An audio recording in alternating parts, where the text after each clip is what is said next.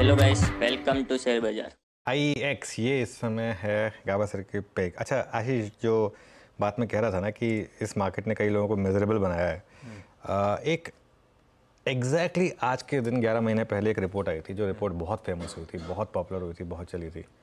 कोटक की रिपोर्ट आई थी। वो मिड कैप वाली कि सारे मिड कैप बेच दीजिए। हाँ। वहाँ से मिड कैप इंडेक्स पचास परसेंट ऊपर।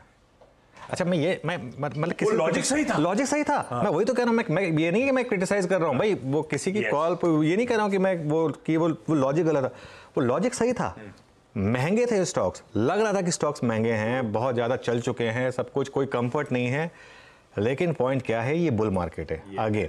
तो मामला सारा का सारा ये है कि वहाँ से इंडेक्स एक साल में 50 परसेंट चला है। मिड कैप इंडेक्स आप सोचिए अगर इंडेक्स 50 परसेंट चला है तो स्टॉक्स कितने चले होंगे? चलिए खैर आप बाकी ट्रेड्स लेते हैं। शिल्पा जी गुड मॉर्निंग शिल्पा जी आपकी ट्रेड गुड मॉर्निंग एवरीवन मेरा ट्रेड रहेगा सितंबर सीरीज़ के लिए हिंद पेट्रो पे।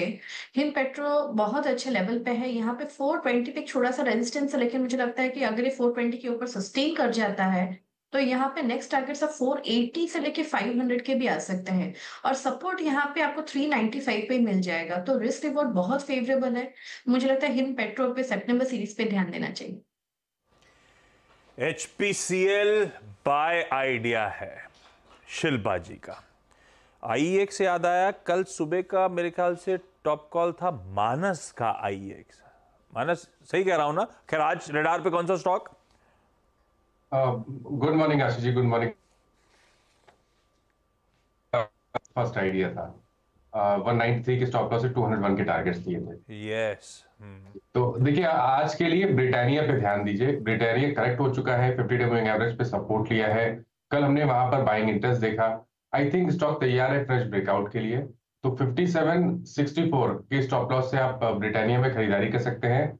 और 5975 के टारगेट सेट कर सकते हैं ये कैश लेवल से ब्रिटानिया के लिए। अगर चाहें तो 5900 का कॉल ऑप्शन लिया जा सकता है। एक रुपए के आसपास की क्लोजिंग थी तो वहाँ पर 84 रुपीस के स्टॉप लॉस से आप खरीदारी कर सकते हैं और एक रुपए के टारगेट सेट ब्रिटानिया हो गई। मानस के पे। आशीष जी गुड मॉर्निंग आपकी trade good morning Anuj ji good morning Ashish ji good morning everyone Anuj ji मेरी जो ट्रेड रहेगी वो एक्सिस बैंक पे खरीदारी की सलाह रहेगी हमें लग रहा है कि सात आठ दिनों का कंसोलिडेशन हो चुका है एक्सिस बैंक में और अब ये नए सीरीज़ में यहाँ से एक मोमेंटम बैंकों में वापस देखने मिल सकता है और एक्सिस बैंक इसमें टॉप पिक रहेगी हमारी। तो इसमें खरीदारी की जा सकती है इलेवन फिफ्टी फाइव ग्यारह सौ पचपन का स्टॉप लॉस लगाकर इसमें पोजिशन बनाने की सलाह।